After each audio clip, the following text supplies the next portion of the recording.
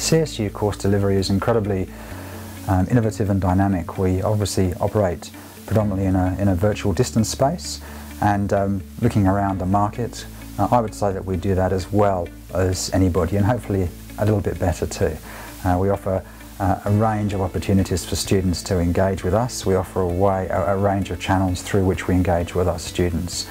And, um, and so given that flexibility around learning, I think for people who are busy and, uh, and really struggle to make, uh, to make time in their lives for learning, CSU pitches an educational product that is incredibly versatile, incredibly flexible and really suits most people's needs. Our delivery is recorded, it's downloadable, um, it's, um, it, really, it really responds to the needs of our students um, who, who want to access content and knowledge uh, through phones, through iPads, uh, through, um, through the broader internet across a number of devices and they want to access it when they want to access it, not necessarily when we want to tell them about it. So for us, our service delivery I think is critical and I think it's something we do very well through our innovative online learning.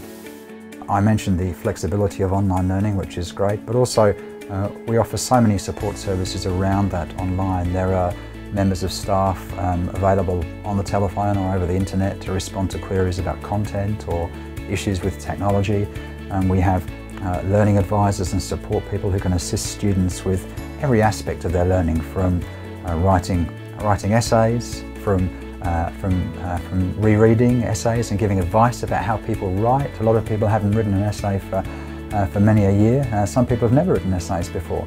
And so we offer this package of support services which I think is really second to none. And so online delivery is the core product but around that we have so many support resources that are available for students to uh, to access to get them through and get perhaps get them over that initial hurdle uh, uh, the air of trepidation they approach online learning with.